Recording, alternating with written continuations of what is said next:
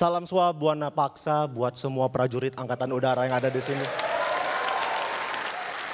Dan seluruh prajurit angkatan udara yang ada di Indonesia. Kenalin, saya Oki Rengga dan saya ini seorang pemain bola dari Medan. Tapi jujur, cita-cita saya dari kecil sebenarnya ingin jadi seorang pilot. Pengen bawa pesawat, saya rasa gagah aja gitu. Bisa bawa pesawat besar banyak bawa penumpang. Tapi cita-cita saya berubah menjadi pemain bola gara-gara ayah saya. Bukan karena ayah saya seorang pemain bola. Tapi ayah saya tahu sekolah bola lebih murah daripada sekolah pilot. Enggak, enggak, Wak. Saya jadi pemain bola uh, karena dari kecil ayah saya sering bawa saya ke stadion. Makanya saya jadi pemain bola. Ya, tapi gara-gara tema semangat penerbangan ini saya cari-cari tahu gitu. Dan akhirnya saya tahu ada perbedaan antara pilot pesawat komersil dengan pilot pesawat militer. Walaupun latihan dasarnya sama, tapi masalah gaji beda. Saya nggak ngebayangin nih pilot pesawat komersil lagi terbang di atas, ketemu sama pilot pesawat militer. Di atas diceng-cengin. Pilot pesawat militer. Sendiri aja pak. Kecil pesawat bapak. Nih pesawat saya besar pak. Penumpang banyak. Gaji besar. Pilot pesawat militer cuman gini aja. Iya. Tapi pesawatnya diarahin. Pesawat kau punya ini enggak? Dikeluarin rudalnya. Hmm. Bercanda saya pak.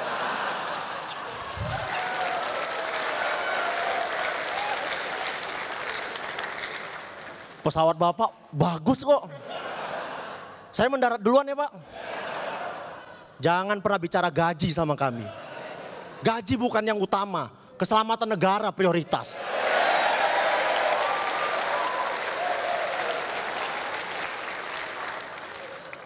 Tapi gara-gara pesawat gitu, saya jadi suka, saya masih penasaran sama ruangan kokpit pesawat yang banyak tombolnya.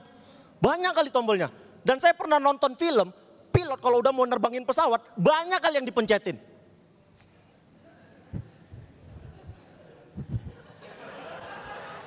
Banyak, saya nggak tahu itu fungsinya apa.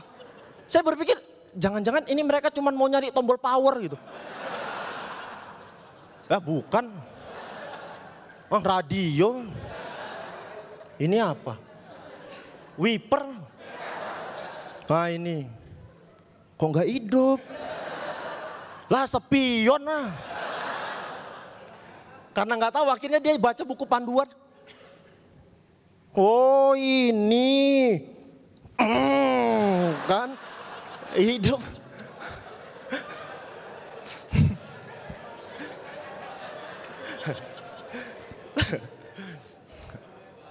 Tapi jujur aja Pak, saya saya di angkatan udara ini paling suka ngelihat penerjun payung. Bener ya? Kenapa? Karena menurut saya ini orang paling berani gitu loh.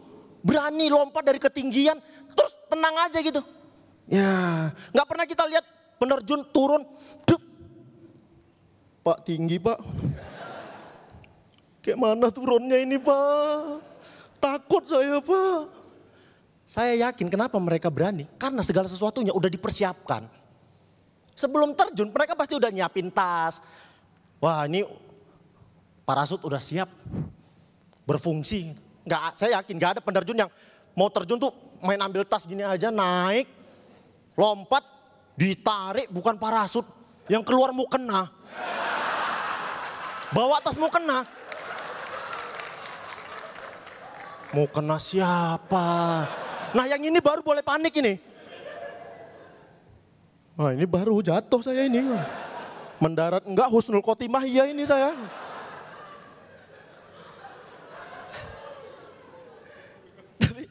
Saya benar cita-cita saya pengen sekali jadi pilot dari dulu. Di sini nggak ada lowongan gitu pak. Jadi apa aja gitu.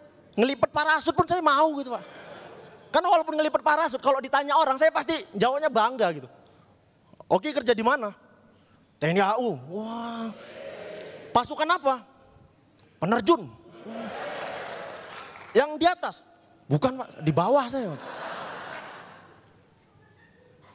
Instruktur? Bukan pak. Lipat.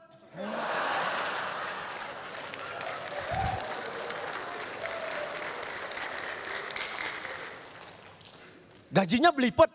Bukan pak, lipat parasut. OOB, AU. OB AU. Aja pak nggak pakai OB. Tapi saya memang pemain, sekarang saya jadi pemain bola dan gara-gara main bola, saya sering naik pesawat ke sana kemari. Ada aturan di pesawat yang sampai saat ini saya masih ingat. Pesawat itu ketika mendarat, ada perintah dari pramugari yang selamat datang di Bandara Halim, silakan tetap duduk dan jangan nyalakan handphone sampai pesawat benar-benar berhenti. Tapi ada orang yang masih bandel. Begitu pesawat mendarat, ada aja handphone bapak-bapak yang langsung hidup. Tini ini, tini ini, tini ini. Itu saya alami nih, bapak-bapak di samping saya nih. Handphonenya bunyi, pramugari di depan marah. Pak, handphonenya matiin. Dia cuman gini aja, bukan handphone saya kok. Handphone dia, nuduh temennya.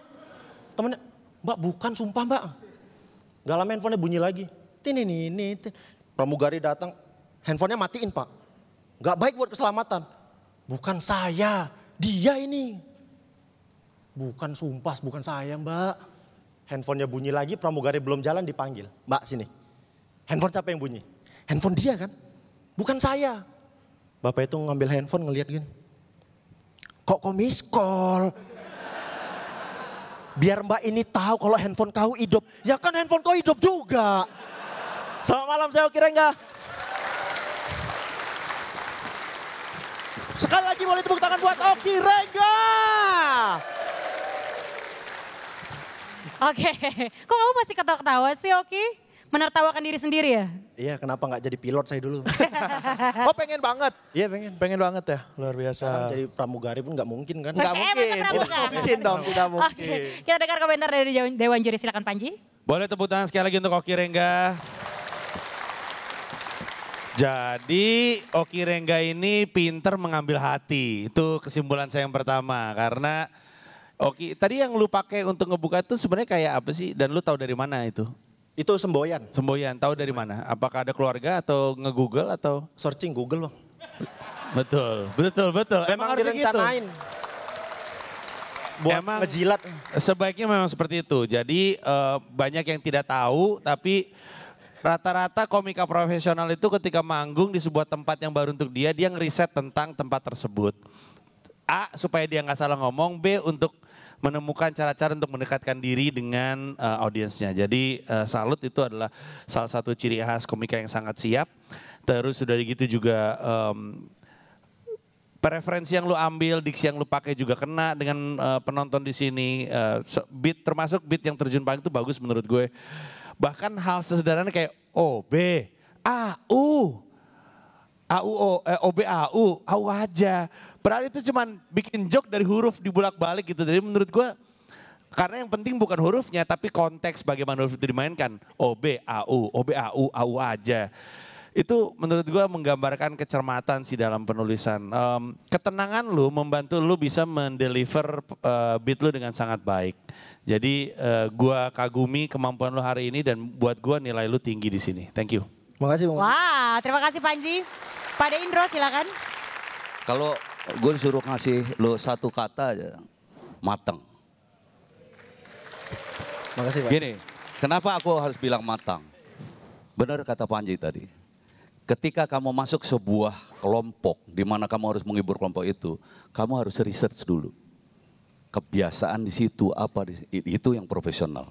Dan kamu berhasil eh, membuat dirimu benar-benar menjadi stand up comedian karena kamu terkonsep banget. Itu keren, keren banget dan kompor gas. Wow, Makasih, satu kompor gas pertama untuk di Mission Show hari ini. Selamat buat kamu Oki. Calon Calontong, silakan Calontong. Oke, saya melihat sebuah perform yang komplit. Di mana teknik-teknik keluar dengan bagus, delivery kamu juga bagus, cara materi kamu juga menyesuaikan audiens. Selain itu kamu juga punya hal-hal lain di luar di sini dan kamu bisa menggabungkan itu menjadi satu kesatuan yang tidak lompat-lompat. Ini yang paling saya akui bahwa kamu bisa menjahit itu dengan baik. Very good job. Makasih. Very good Very job. good Terima job. kasih Calontong. Halo pemirsa, bola boleh lewat, orang jangan. Dan jangan lewatkan Suci 8 di Kompas TV setiap hari Sabtu jam 7 malam. Untuk mengetahui materi-materi terbaru kami setiap minggunya, jangan lupa kunjungi channel YouTube Stand Up Kompas TV. Jangan lupa like dan subscribe sebanyak-banyaknya. Let's make love.